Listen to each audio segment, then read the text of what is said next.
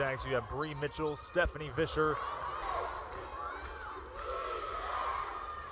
Outside shot, good ball movement, fires from downtown, and Nugent. Good stop and pop there. On the way. Outside shot on the way, Hit. Good ball movement. Pulls the trigger. That falls.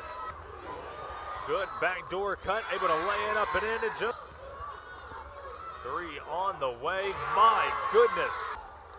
Good ball movement right now. Strong take with the offhand. Able to three pointer on the way. Back. Inside pull up jumper from Muffet.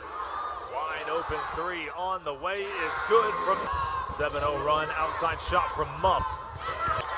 They only have one three so far this quarter. Outside and extra chance coming up.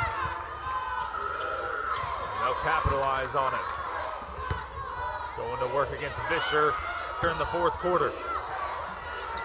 Three-pointer on the way. Count it. Outside shot is good from Arianna three. Count it. Arianna corner three on the way. She's feeling it. Nugent all the way inside, gets blocked. All the way inside.